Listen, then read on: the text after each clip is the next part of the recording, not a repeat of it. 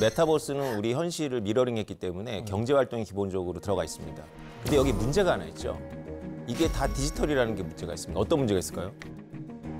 어쨌든 간에 이걸 제작을 하잖아요. 약간 예술품이라고 생각하면은 복제 이런 게 제일 문제일 것 같아요. 아, 위조. 창의성이 들어간 위조 거잖아요. 모방. copy and paste 하면은 네. 맞습니다. control C, control V 하면 게다가 이 메타버스 공간은 이 현실보다도 더 익명성이 보장되니까 네. 그러니까 뭐 잡기도 어렵죠.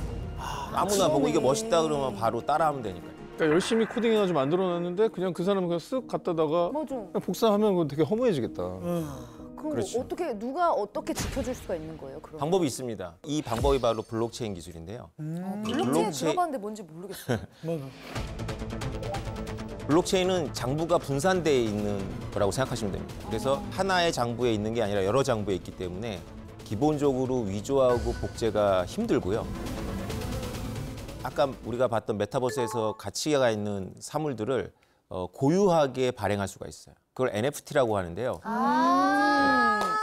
또다 들어보긴 네, 들어봤어요. 들어보긴 언제 다 몰라. 우리가 디지털은 기본적으로 이 사물하고 달라갖고 무한 복제가 되잖아요. 네. 내 친구가 나한테 음원을 달라고 했을 때 제가 음원 주면서 어, 내 친구가 나한테 별로 고마워하지 않는 게 저한테도 그 음원이 계속 있거든요.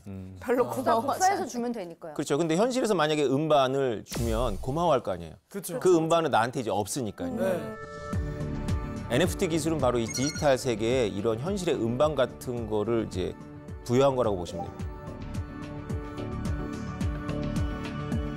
블록체인 기술을 통해서 뭐 코인도 만들 수 있지만 이렇게 자산을 만들어 가지고 이름표를 붙이는 게 가능하다라는 말씀이신 거네요. 정확합니다. 아, 우리가 화가들이 그림을 그려놓고 낙관이라고 하잖아요. 낙관을 네네네. 찍잖아요. 그게 NFT 기술이라고 보시면 됩니다.